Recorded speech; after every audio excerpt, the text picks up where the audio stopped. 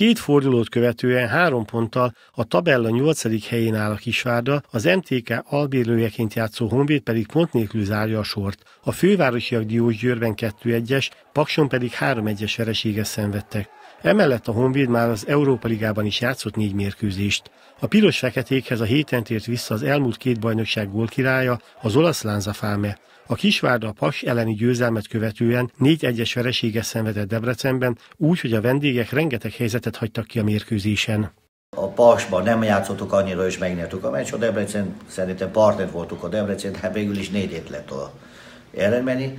Hát dolgoztattuk a, a heten, javítani kell ezekek a hibák, mert a pontrugáson nem szabad ilyen három gól. Jobb mondjuk egy szabadrugás volt is a másik két szöglet. Dolgoztatunk, keményen dolgoztatunk is, most oda kell menni a Honvédon, és ponton vagy ponton megszerezni. A fiatal Kovács Réti Márka hét elején a szintén kisvárdai Zöldes Illés társaságában az U21-es válogatottal készült. A 18 éves baloldali támadó mindkét eddigi bajnokin jó teljesítményt nyújtott. Nagyon örülök neki, hogy lehetőséget kaptam a bizonyításra. Ezt ö, szeretném is megköszönni a, a a vezetőségnek és a stábnak is, hogy megkaptam a bizalmat.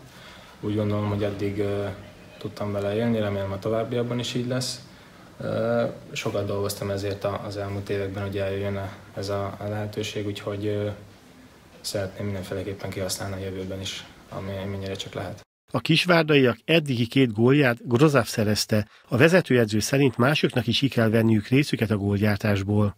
Tavaly itt volt a Horváth Zoli, ki rúgott 9 gólt, meg volt egy Cukalaki 4 gólt, de sajnos a másik támadó futballista, mondom ki náluk játszanak, csak egy gól rúgtak. Hát ez kevés, már mondtam a mai nap is, a Gostonit, a Hugo, a már nekik is gólokon regni, mert ez egy szélső futballista, jobbra vagy balra, 5 gól minimum, egy szezon is 7-8 gól passz, ez a kevés, de szerintem javul, javulni fognak, mert dolgoznak, látom, mert akarnak, mindenki akar is hát nem, meg egyszer nem csak a Grozav kell gólokról, mert nem lehet mindig a Grozavot kell lenni a pályában.